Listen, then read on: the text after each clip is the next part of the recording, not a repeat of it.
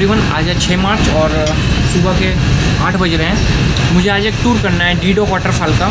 ये डीडो वाटरफॉल एक less explored waterfall है। सो मैं वहाँ जाऊँगा, अकेले ही जाऊँगा। कल मैंने एक स्कूटी के लिए बातचीत करी थी और स्कूटी मुझे वो जनाब अभी यहाँ पे होटल पे ही पहुँचा देंगे। तो अब मैं उस स्कूटी को लूँगा और थोड़ा सा सो लूँगा और निकल जाऊँगा डीडो वाटरफॉल की तरफ़।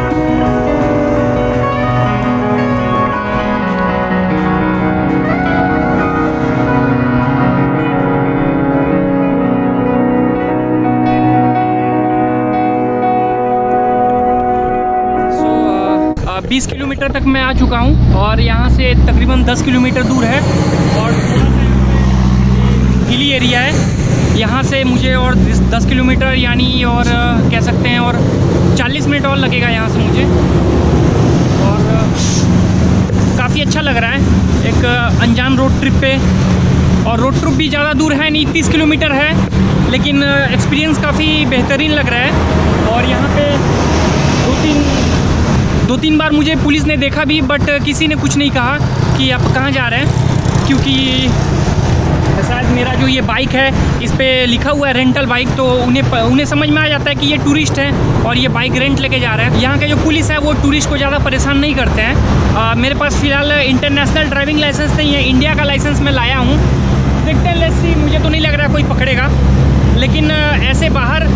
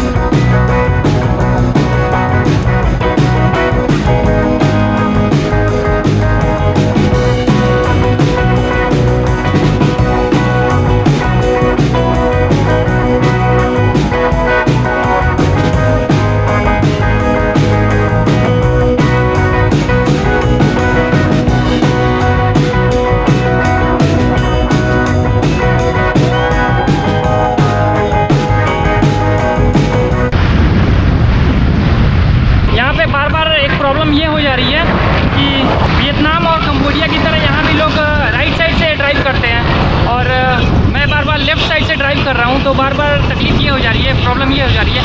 और यहाँ का नज़ारा काफ़ी बेहतरीन है, काफ़ी खूबसूरत है और काफ़ी अच्छा लग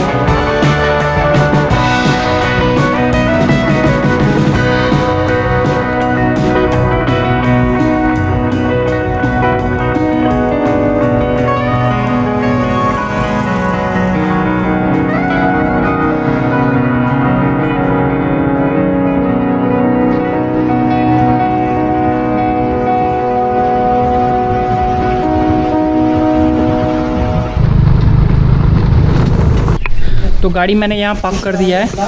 और ये एक, ये पार्किंग है या नहीं, यहाँ पे लोकल दुकानदार है, यहाँ के वो बोल रहे हैं, यहाँ पे गाड़ी पार्क कर सकता हूँ। गाड़ी पार्क करने का 500 मांग रहे हैं। 500 मतलब हम लोग का पच्चीस रुपया। ठीक ठाक है। और जनाब का कहना है, पाँच सौ रुपये में सॉरी यहाँ से वो वाटरफॉल 20 मिनट हाइकिंग पे है। 20 मिनट मुझे सुन के डर लग रहा है क्योंकि वियतनाम में भी, वियतनाम में भी किसी ने कहा था कि बीस मिनट लगेगा ऊपर चढ़ने में और एक घंटा लग गया था।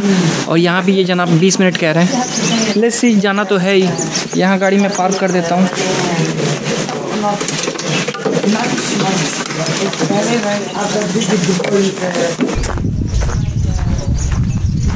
एक बार फिर से हाइकिंग जहाँ जाता हूँ हाइकिंग मिल ही जाती है।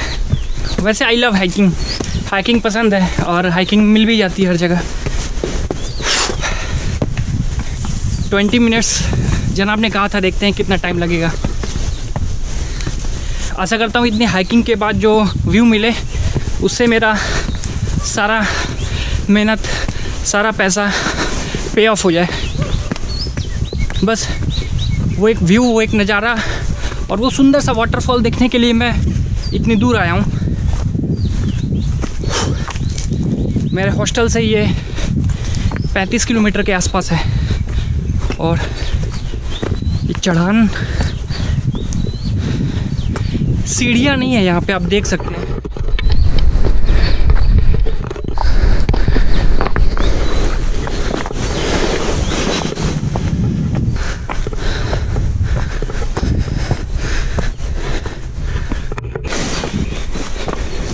बिल्कुल शांत है ये एरिया कोई भी आदमी नहीं दिख रहा है। और मैं अकेला हूँ। किसी से पूछ, किसी से पूछ भी नहीं सकता कि किस तरफ़ जाना है।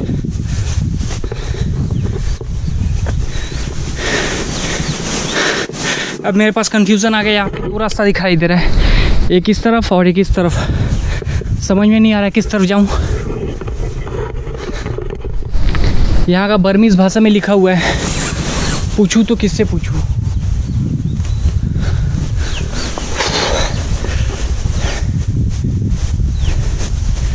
भाई साहब ने 20 मिनट कहा था, यहाँ से नीचे उतरना है। तो ऑफ़ कोर्स ये रास्ता नहीं होगा, ये रास्ता ही होगा, क्योंकि 20 मिनट के हिसाब से ये रास्ता बनता है।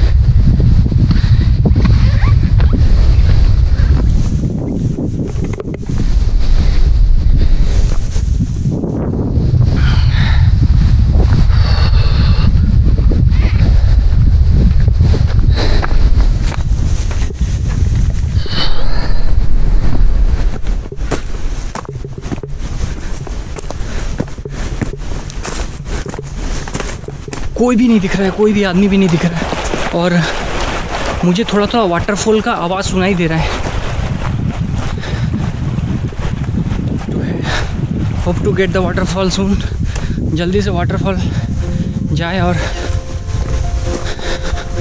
वहाँ का जो मेस्मराइजिंग व्यू है, उसका लुत्फ उठाए।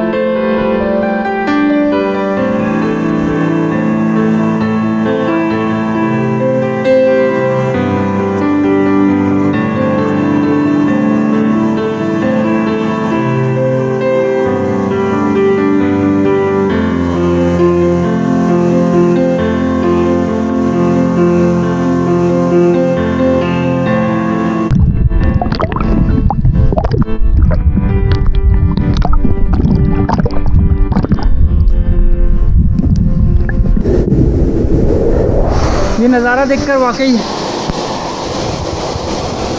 पैसा वसूल हो गया।